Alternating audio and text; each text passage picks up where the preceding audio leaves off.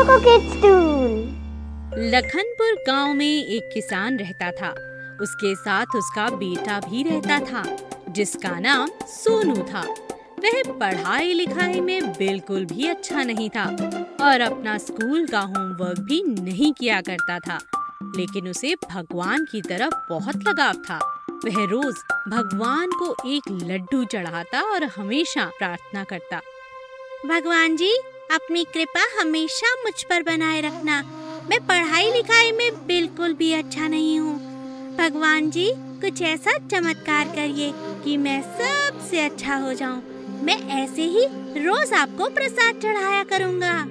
सोनू ने लड्डू चढ़ाया और अपने विद्यालय चला गया। सोनू भगवान पर बड़ा विश्वास करता था, लेकिन वह पढ़ाई में बहुत कमज़ोर था। उसे कोई भी चीज़ जल्दी से याद नहीं होती थी। वह मन ही मन सोचता था। भगवान जी, मुझे पढ़ाई में अच्छा कर दीजिए ना। सोनू रोज भगवान से यही मन्नत माँगता। एक दिन वह मंदिर दोबारा प्रसाद चढ़ाने गया और वह भगवान से प्रार्थना करने लगा। तभी एक पेंसिल उसके पास आ गिरी। सोनू ने आँखें खोली और कहा, अरे ये पेंसिल किसकी है? कहाँ से आई? यहाँ तो कोई भी नहीं है। ये पेंसिल तो बिल्कुल अलग ही है। चलो, मैं ही रख लेता हूँ। सोनू ने वह पेंसिल अपने पास रख ली।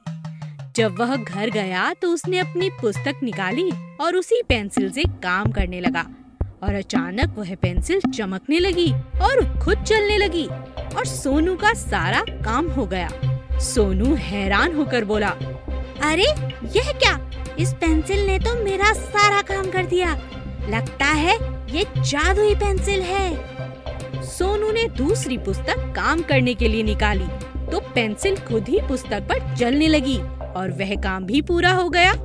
अब उसे यकीन हो गया कि ये जादुई पेंसिल है। वह खुश होकर खुद से कहने लगा, धन्यवाद भगवान जी, यह जादुई पेंसिल आपने मुझे दी है।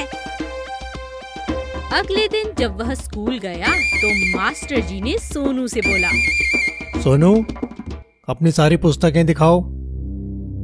तुमने होमवर्क किया या नहीं? जी मास्टर जी अभी दिखाता हूँ। मास्टर जी ने जब सोनू का नाम देखा तो वह भी हैरान हो गए। उन्हें कुछ गड़बड़ लगी। उन्होंने सोनू से सवाल किया तो बताओ सोनू हमारे राष्ट्रीय पक्षी का नाम क्या है? तब सोनू कंफ्यूज हो गया और कहने लगा, मुझे याद नहीं। मास्टर जी ने ज़ोर से डांट लगाई, सारे बच्चों के बीच। सोनू की आँखें नम हो गईं और उसे अपनी भूल का एहसास हुआ।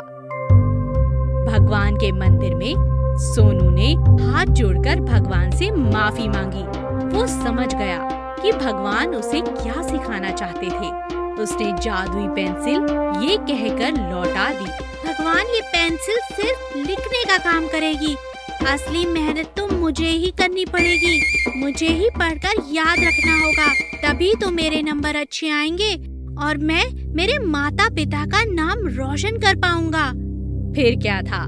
वो मन लगाकर पढ़ने लगा और अपना होमवर्क भी पूरी मेहनत और लगन इसी लगन और मेहनत से वो क्लास में फ़र्स्ट आने लगा। उसके माता पिता को बहुत गर्व हुआ। उसके पिता ने सर पर हाथ रखकर शाबाशी दी। सच्ची मेहनत और लगन से इंसान ज़िंदगी में कुछ भी हासिल कर सकता है।